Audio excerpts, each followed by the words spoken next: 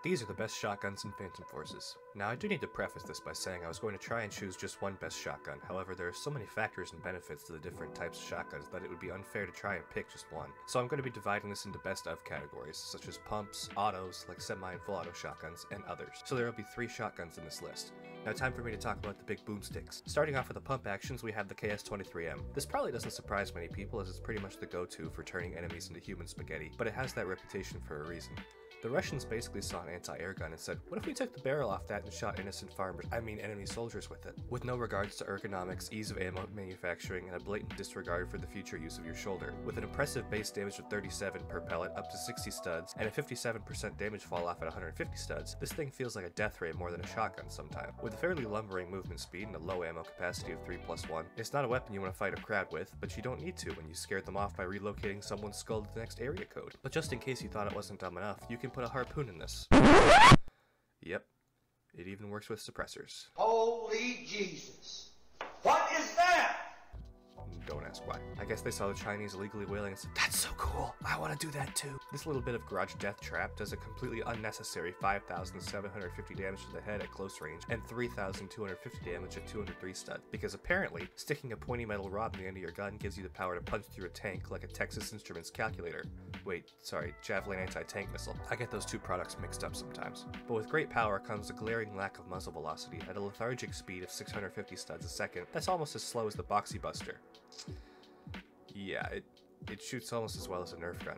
But with the added advantage of being able to kill Thanos. Up next in the auto category, we have the Saiga 12. Now before you get angry, let me explain. This is by no means better than the AA-12, SPAS-12, or USAS-12 in its default state. However, this is a competition, and because of that, I'm taking in a lot of factors. With more damage than the AA-12 and USAS-12, and 27 damage per pellet up to 45 studs, and a 52% damage fall off at 130 studs, it's a very viable weapon in its basic configuration. However, the fun begins when you dive into its ammo types. With the basics like flechettes, bird shots, slugs, and rubber pellets, this little bit of just turn the AK into a shotgun has some interesting conversions. With six different unconventional ammo types to stick in this thing, you can pretty much use this for whatever you're hunting, whether it's elephants or Peter Dinklage. Available ammo conversions include 223 Remington, 9mm, 762 by 39, 308 Winchester, 9.6 by 53, and 50 BMG, because chamber pressure just isn't a thing. By the way, many of those give it full auto capabilities as well even though it has a full auto mod for its basic buckshot. And yes, the 50 BMG is a one-shot wonder, but it does do 300 base torso damage and 283.65 at 180 studs, so yes, it does do big ouchies. While many of the auto shotguns are better on average, especially in closer engagement, the versatility and raw performance of the Saiga 12 are unmatched.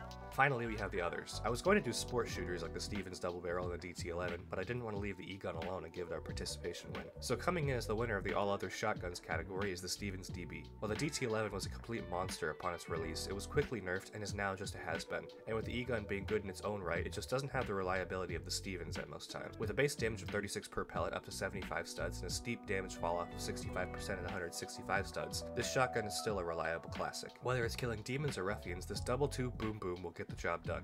You can also stick a muffler on it for some reason. With the added benefit of having an instant burst setting which fires both barrels instead of one, and also having the optional Doom Guy ADS style, avenging your lost bunny has never been easier. The real fun happens when you stick some slugs in this thing and it turns into a home invader's worst nightmare. Featuring an impressive 123.75 torso damage up to 37.5 studs, and 51.8 damage at 165 studs, using the instant burst setting turns this classic into a heavy hitting machine. It also does a base of 396 to the head, pretty much making ballistic helmets a funny suggestion instead of a solution. You can also run the sawed off as your secondary, so that it can be like little brother's turn on the Xbox when you kill your two enemies with Stevens. In conclusion, these are in my opinion the three best shotguns you can use. I'm a bit of a sucker for the KS-23, but all of these are reliable weapons. Pretty much all of the shotguns available are good choices, so choose what you like best. I'm just a guy playing a Roblox game and telling you which boom booms I like. Let me know if you want to see more of these videos. See ya.